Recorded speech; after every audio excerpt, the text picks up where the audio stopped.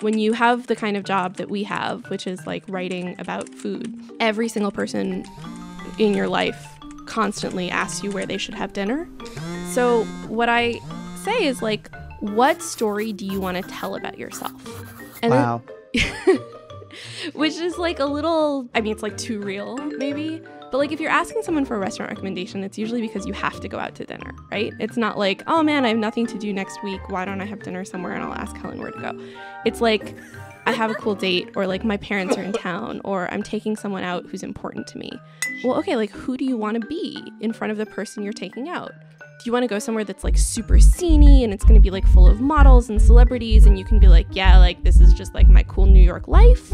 Or do you want to like be someone who's like chill and effortless and like super hip? I mean, like there there are different ways to tell a story. I love this because our tastes define us. That's the truth. They do, but also like we are different people when we're on a first date versus being out with our boss versus taking our mom somewhere where her hearing aid will work. Sometimes in the course of the same meal. Always, yeah.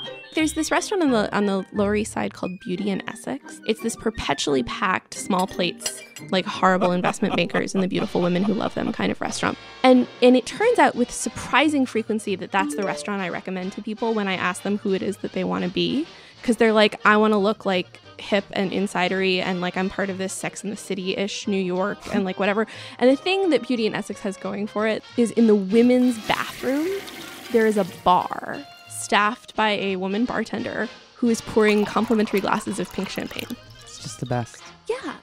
Thanks for watching this video. To hear the rest of the podcast the story came from, please click here now or click on the link in the description. And as always, please subscribe to Eater.